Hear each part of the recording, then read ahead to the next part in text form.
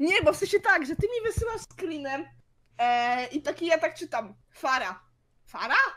Takie myślenie tak. Co, co znaczy w tym momencie słowo fara? Like I said, moment, w którym dowiadujesz się, że twój nick to kościół parafialny. Autentycznie, nigdy! Ja tak sobie myślę.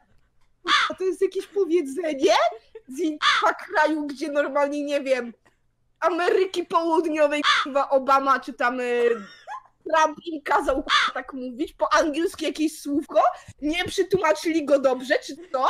I tak sobie myślę, co to może być, nie? Ale dobra, jechać. Wysyła mi dalej screeny. I takie... E, czy, czytam wszystkie i takie... E, no, coś tam, Fara, coś tam, o, ogarnij się. I takie... Fara? No co jest nie tak z moim nickiem? Kurwa, taki bufonik Serio? Ja myślałam, że to kościół.